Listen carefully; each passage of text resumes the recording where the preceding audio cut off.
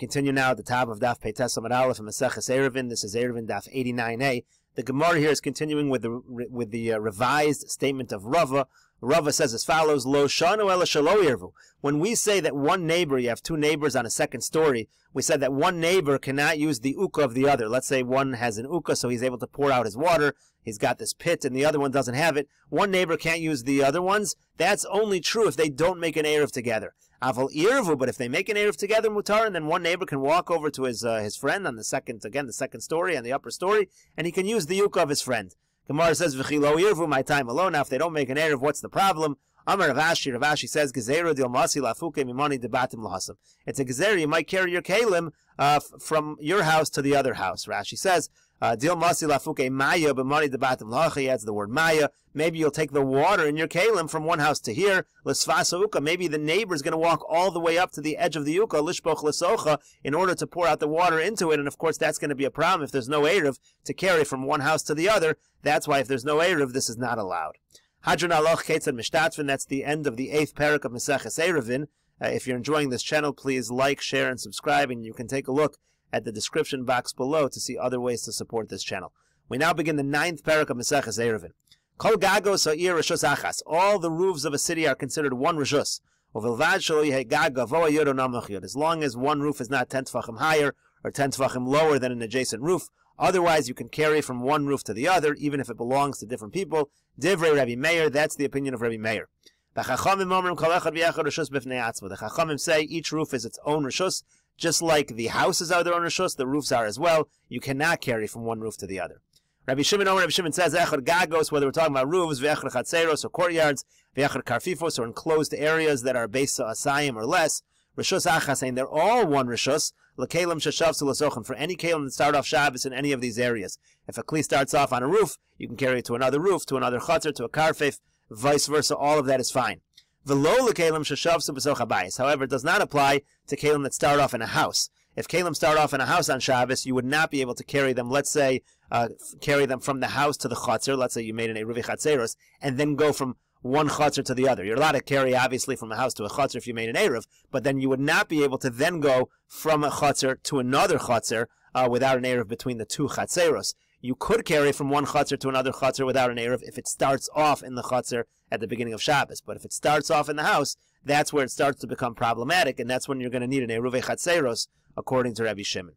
The Gemara says, Yosef Abaya Baravin, Rabbi Chanina Baravin, Yosef Abaya Gabayu, Vyasu Kamri.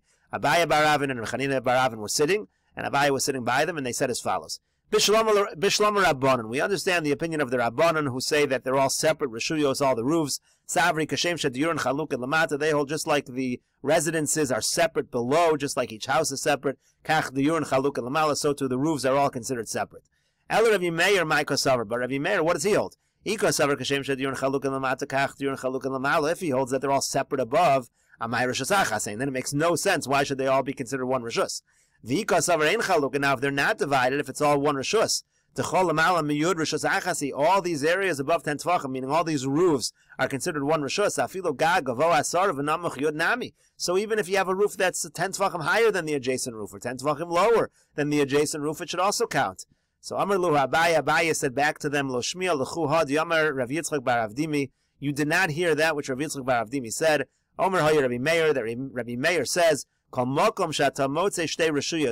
you have two reshuyos, vein achas, but they're really all one reshus. What's an example? Kagon amud b'reshus hayachid gavoa. Let's say you have a pillar. For example, you have a pillar in reshus hayachid, and the pillar itself is reshus hayachid. It's ten tefachim high and it's four tefachim wide, and it's all owned by the same person. Still, asr lachasef olav. You cannot put something on top of that. You can't take something from the reshus hayachid and put it on top of the pillar Mishum It's just a decree. Maybe you'll get mixed up and say that, say you can do the same thing in Rosh Hashanah. You'll think if there's a pillar in Rosh Hashanah and it's ten tefachim high and it's four tvachim wide, I can take something from the Rosh Hashanah and put it on the pillar, which of course you can't, because then you're transferring from Rosh Hashanah to Rosh Hashanah. So Gezeira, because of that, you're not allowed to do it in Rosh Hashanah either. So he said, Hachanami, here also it's the same thing. Gezeira Mishum Tel Rosh we don't allow you to transfer from one roof to another roof if one roof is, let's say, 10 tefachim higher than the other, because you'll get confused with a tail Bereshus Harabim. Savar Mina, so then they thought to say from there, Afilu Machteshes ve'afilo gigis. This would be true even by a mortar or a barrel, even by kalim, if they have the dimensions of Rishus HaYachid, you wouldn't be allowed to put something on top of them if they're in a Rishus HaYachid. So Amar Lahu Abaya, so Abaya said to them on that thought, Hachi Amar Mar, so says the master, Lo Amar Rabbi Meir, Elo Amud, V'amas Harechaim. This halacha of being strict in Rishus HaYachid, let's say you can't put something on top of something else which has the dimensions of Rishus HaYachid, it's only true by things like a pillar or by the base of a millstone. Hoel Vadam. Those are things that are fixed in their place. But something like a Machteshes or a Gigas which you carry around, their Kalim that you carry around, it's not going to be a problem. Gemara says, what are you talking about? What about a wall between two chatzeros, to kavua, that is certainly fixed in its place? V'yomer Rav Yehuda, and Rav Yehuda said, Kishatim Solomar Ladivrei Rabbi Meir, when you analyze the opinion of Rabbi Meir, Gagin Rishus Liatzman, Chatzeros Rishus Liatzman, Karfifos Rishus Liatzman.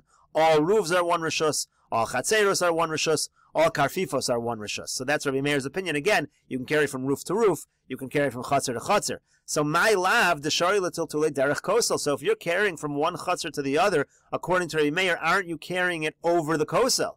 So you see that even something which is fixed in place, but if this kosel has the dimensions of Rosh Hashanah, it's not a problem. You can carry from the chatzer to on top of the kosel back to the other chatzer. So Amar Rav Huna Bar Yehuda Amar Rav Sheishes, or Rav Huna Bar Yehuda says in the name of Rav Sheishes, lo, no, that's not the case. What we're talking about over here is if you have a Pesach in the wall, you have a door that connects the two Chatzeres, you can carry from Chatzer A to Chatzer B through the door, but you would not be allowed to carry over the wall. Gemara continues that the two dots v'chachamim omer kol echad v'yechad rishus b'fnei atzmo. The chachamim hold that each roof is its own independent rishus. Itmar, we have the following machlokas amoroim.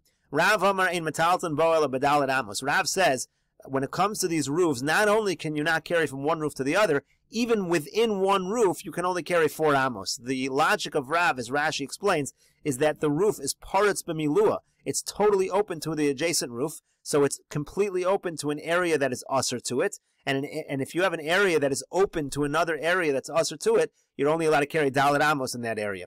Shmuel says it's not a problem. You can carry in the entire thing.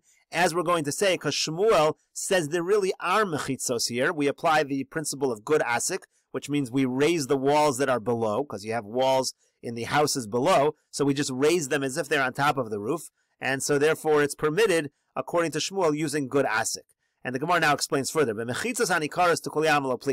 you can see the walls of the house, not a problem at all. What that means is if you have two houses that are next to each other, but they're not connected, so you have the, the roofs are very close to one another, but they're not completely connected, and you can see obviously all four walls of each house. So those are called mechitzos hanikaros, and that's not even a machlokus. Certainly we apply gud asik. We look at it as if those same mechitzos are on the roofs as well, and you could carry on each roof independently. The argument is, let's say a bunch of houses that are completely connected. If you looked at it from the top, it would look like one roof.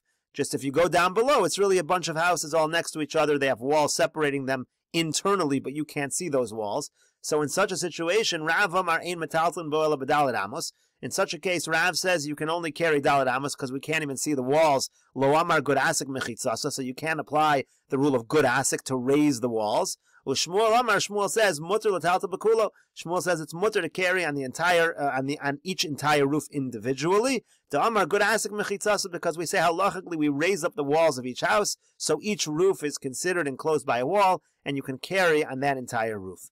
Gemara tries to bring a proof from our Mishnah. Tanan, we learned in our Mishnah, the Chachamim say each one, as we'll see, is its own rishus. We'll continue this discussion in the next video on Daf Peites Amud Beis.